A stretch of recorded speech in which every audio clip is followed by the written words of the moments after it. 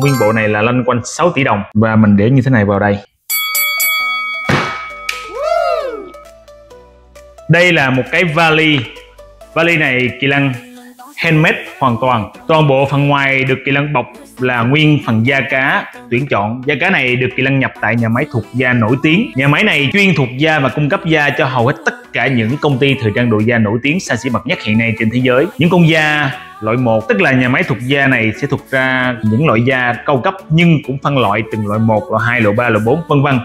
Thì Kỳ lân chọn loại 1 với những gì đẹp nhất và hoàn hảo nhất, hoàn thiện nhất để tạo ra những sản phẩm cao cấp nhất tại Kỳ Lân Luxury. Và đây là một cái vali mà Kỳ Lân mới vừa hoàn thiện xong. Từ chất liệu da theo ý muốn của Kỳ Lân và từng công năng sử dụng theo đúng ý muốn của mình. Bên trong là có một cái khay cái khay này để mình, để những sản phẩm lên để mình đưa cho khách hàng xem. Và ở dưới đây là có những cái thanh. Thanh này là để những chiếc nhẫn cao cấp để vào. Chiếc nhẫn này là, nguyên bộ này là lanh quanh 6 tỷ đồng. Và mình để như thế này vào đây. Sau đó mình đặt cái khay này lên. Lên như thế này.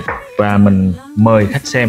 Còn bên đây là để những sợi dây chuyền hoặc là những chiếc lắc tay hoặc là Kỳ lăng sẽ để cây bút như thế này. Còn bên này, bên đây là để những chiếc đồng hồ giá trị vào đây. 1, 2, 3, 4, 5, 6, 7, 8 cái đồng hồ giá trị vào đây. Sau đó mình sẽ bảo vệ lại bằng cái nắp này. Còn bên đây là để những viên đá những viên đá thiên nhiên hoặc là những viên kim cương hột xoàn thiên nhiên tuyển chọn ở đây. Sau đó mình sẽ đóng nắp lại cài chốt ở bên ngoài cái vali này sẽ có một cái logo vương miện. Logo vương miện này là hơn 4 chỉ vàng và trong cái logo vương miện này sẽ có ba viên kim cương vuông hột xoàn thiên nhiên mà kỳ lân tuyển chọn đẹp, xuất sắc để đưa vào bởi vì kỳ lân là đơn vị chuyên về những dòng sản phẩm cao cấp luxury tuyển chọn. Cái logo này là một phiên bản mới của kỳ lân luxury.